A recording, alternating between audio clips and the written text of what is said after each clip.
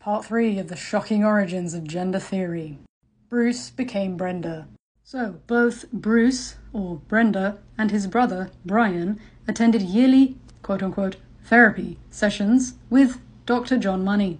Sessions in which Money would instruct the children to get naked and inspect each other's genitals.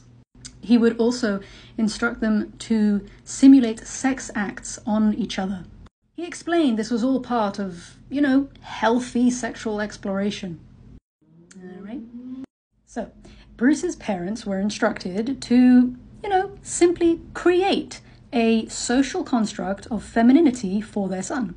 Give him a new name, Brenda, dress him in girls' clothes, give him girls' toys. Thing is, he was still male. And even if they did everything in their power to preserve his fragile and false female identity, sex is innate. Part 4 coming up.